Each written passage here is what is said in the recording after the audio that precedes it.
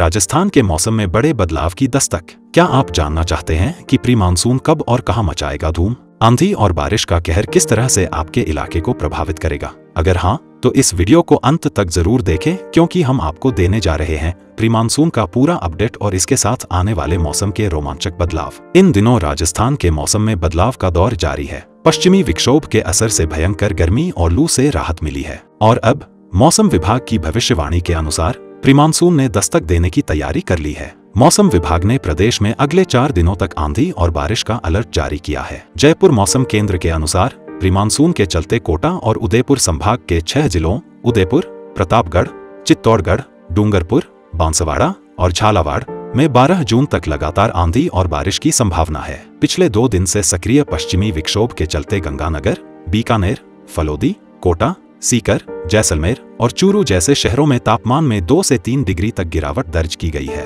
पिछले 24 घंटे में जैसलमेर, बाड़मेर, चित्तौड़गढ़ और उदयपुर सहित कई शहरों में बारिश और ओले गिरे। उदयपुर के पास सराड़ा में 22 मिमी, सलूम्बर में 6 मिमी, गोगुंदा में 13 मिमी, बड़गांव में 10 मिमी, देलवाड़ा राजसमंद में 10 मिमी, रेलमगरा में 16 मिमी, आमेट में 11 मिमी, बाड़मेर में 6 मिमी, पाली के देसूरी में 13 मिमी और रानी में 9 मिमी बारिश दर्ज की गई। मौसम विभाग के अनुसार मानसून महाराष्ट्र में प्रवेश कर चुका है। इस कारण नमी वाली हवा का प्रभाव मध्य प्रदेश और राजस्थान के दक्षिणी हिस्सों में धीरे धीरे बढ़ना शुरू हो जाएगा। इस हवा से होने वाली बारिश को प्री मानसून कहा जाएगा।